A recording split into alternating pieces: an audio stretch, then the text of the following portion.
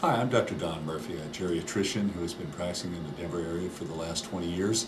I work with Senior Care of Colorado IPC and work with about 70 providers who provide primary care geriatrics. Each of our providers has a unique style and approach, but they have all been trained in the basics of geriatric medicine and we pretty much evolved uh, a general consensus on how to approach the art of geriatric medicine. So what we'd like to do today is share some of the things we've learned over the years so that you can, in your busy practices, use these to take good care of seniors and their families.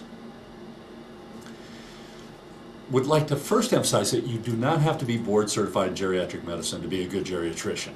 Uh, and it, it doesn't really matter what initials you have after your name, whether it's an MD, DO, PA, NP, whatever if you really have a passion for taking care of seniors and their families, you're committed to learning geriatric principles, you will be a good provider. Um, secondly, we know that uh, although a lot of what we do in geriatrics reflects what we might do in family medicine and internal medicine, there is a little bit of a more emphasis on maximizing function and quality of life in our geriatric population. We need to balance the potential risk and benefits of diagnostic tests and treatments, a little more, uh, we believe, in the geriatric population.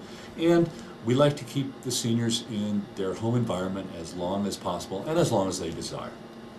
Geriatrics does tend to have more of a high-touch, low-tech feel to it. Uh, that is, we're going to be more conservative in our testing and using of medications. It also involves a very strong team approach we getting input from not only the patient but their family members, other caregivers, staffs at various facilities, assisted living and nursing homes, very, very important. And it's also important to work as a team that we, where we teach each other uh, to appreciate the specialized needs of the senior population. It's not just a matter of the clinicians knowing this all and teaching the staffs. We need to learn from the staffs and caregivers uh, important things as well. It is a fact that older patients take more time, and we're going to have to deal with that. Patients expect it. Uh, we have to personalize our touch. That too takes time.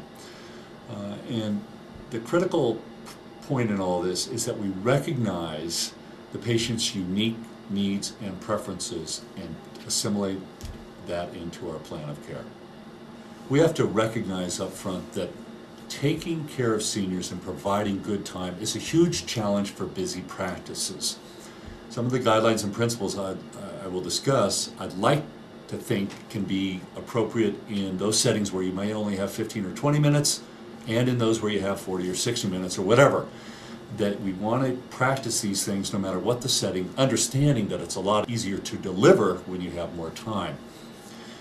When you know you're going to need a lot of time, let's say a hospital follow-up or a family meeting, uh, dealing with a lot of different uh, challenging issues, schedule that time if you can. It's very important that the office work together so that you can schedule that time.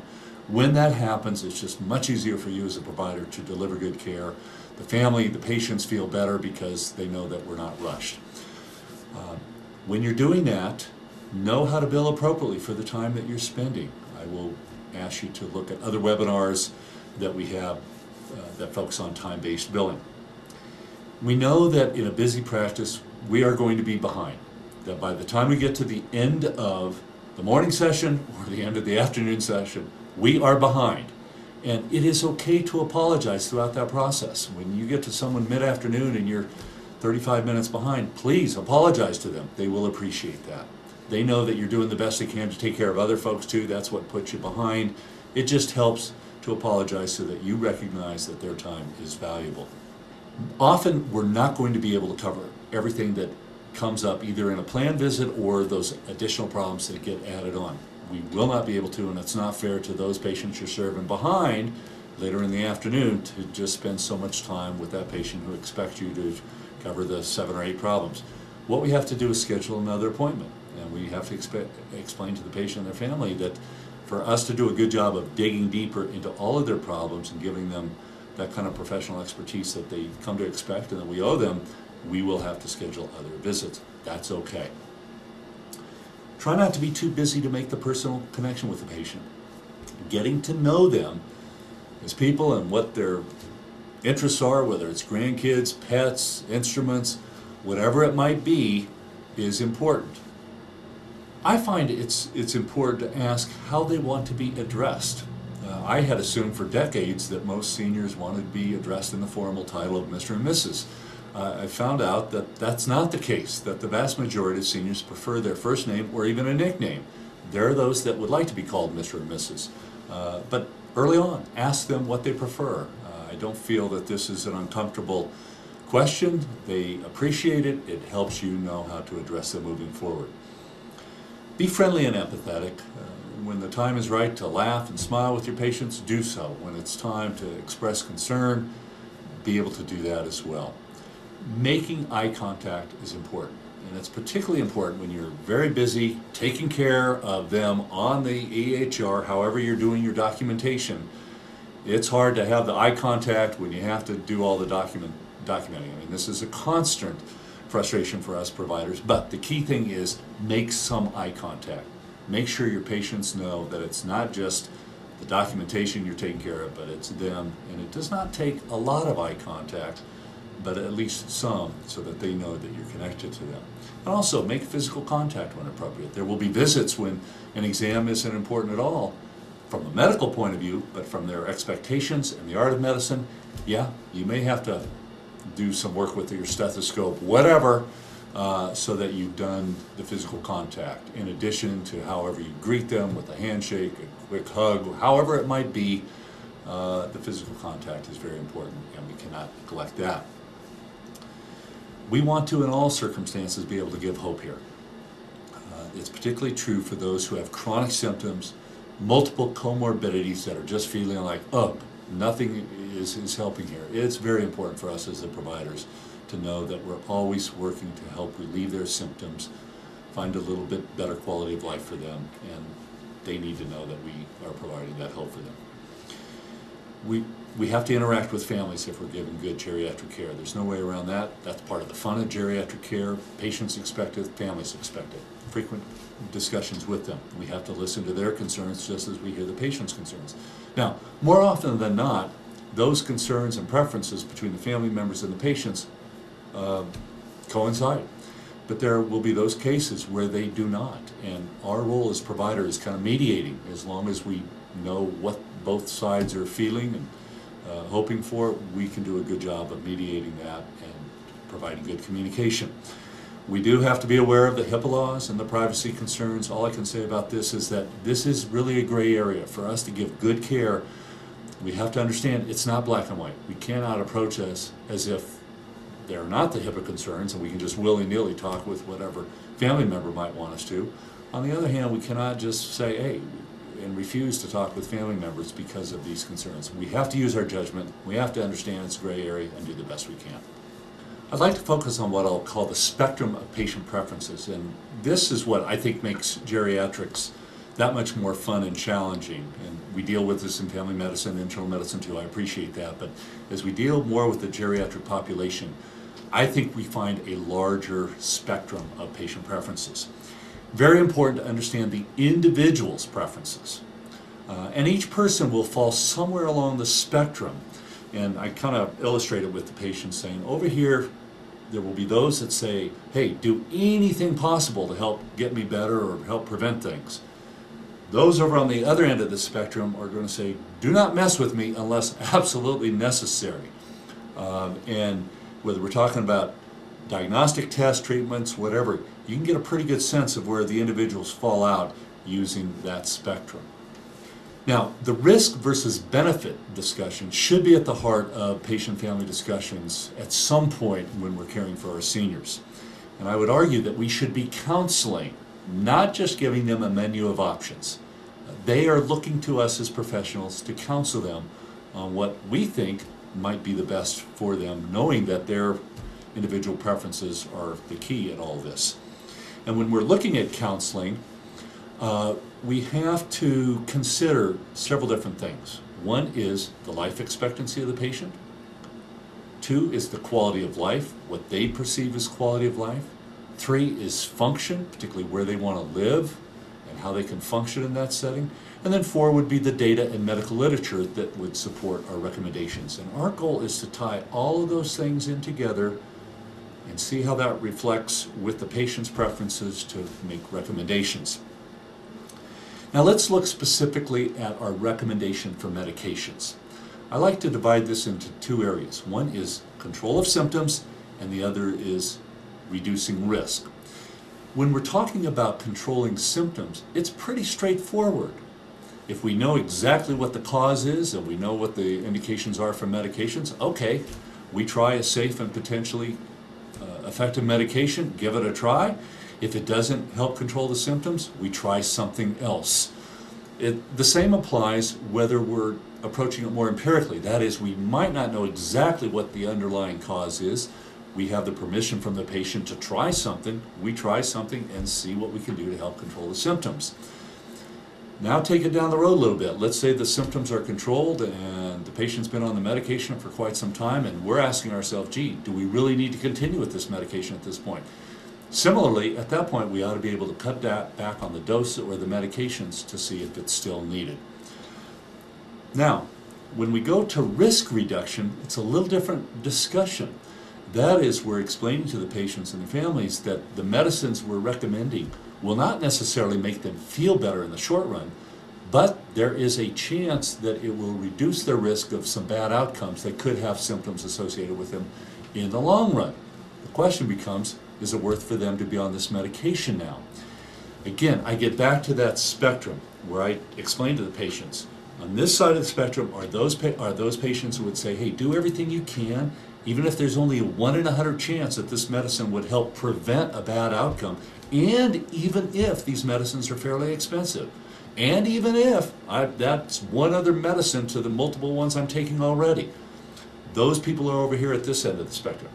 You go all the way over here, these are the patients that say, no, you know what, I don't want to take any more medications, and unless it's really going to make me feel a lot better, I really don't want to take them.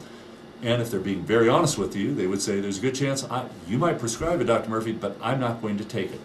So I kind of create this false dichotomy, if you will, showing them this spectrum and ask, okay, where do you fall on this spectrum?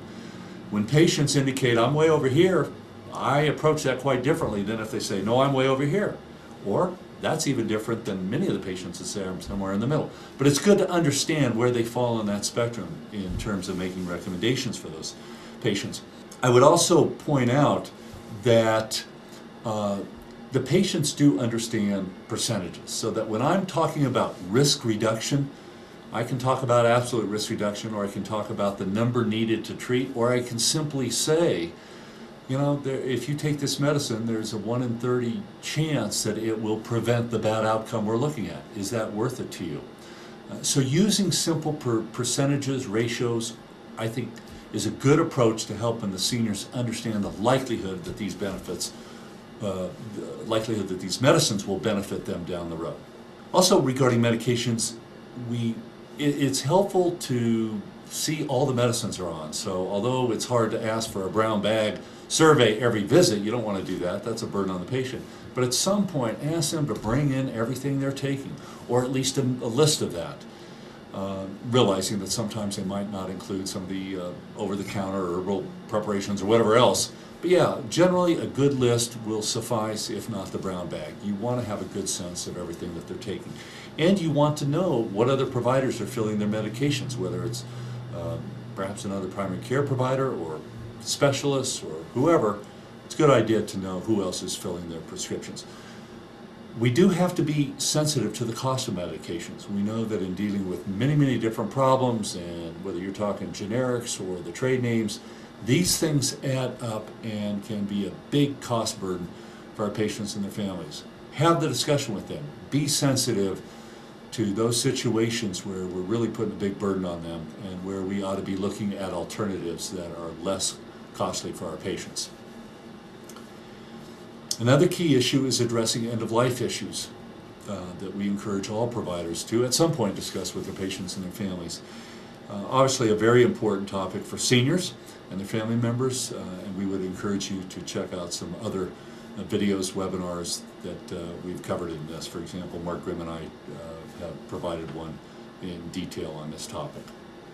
I'd like to spend some time talking about the MESA, Pearl, and protocols that we developed last year and explain how this process evolved. we took uh, 20 of our clinicians that have had an average of 20 or more years in geriatric practice and asked them to weigh in on this. Uh, these are board certified geriatricians, nurse practitioners, physician assistants, and we realized that all of these clinicians have unique styles and philosophies and biases, but we wanted to tap into that collective wisdom to come up with these pearls and protocols. What we did is kind of meld information from day-to-day experience from these providers, from clinical journals, from professional organizations, and the best we can do keeping up on the research literature. We selected those conditions and disease states that are frequently presented by the seniors, and we think that this is this involves the information that's most important for providers to be aware of. Uh, and we also wanted to get topics that we thought needed more attention than what may have uh, been given in textbooks. We realize that when clinicians are providing these kind of pearls and guidelines that they're weighing uh, their views about a number of different things that affect how we practice. So let's go through those specifically. One is how we approach diagnostic certainty. Some clinicians feel very compelled to find out the diagnosis. Others are going to be able to feel more comfortable treating empirically. That is, they don't know the diagnosis and they're going to treat anyway. Secondly, there's kind of a spectrum of how we approach medicine defensively. Um, some are going to be very conservative and want to leave no stone unturned, and others are going to feel more comfortable moving forward, not worried so much about that. Third, the frequency of visits that we can provide and follow-up matters. Uh, some practices will not be able to provide those frequent follow-ups and there might be big gaps, a month or whatever, between patient visits. That affects how they think about things.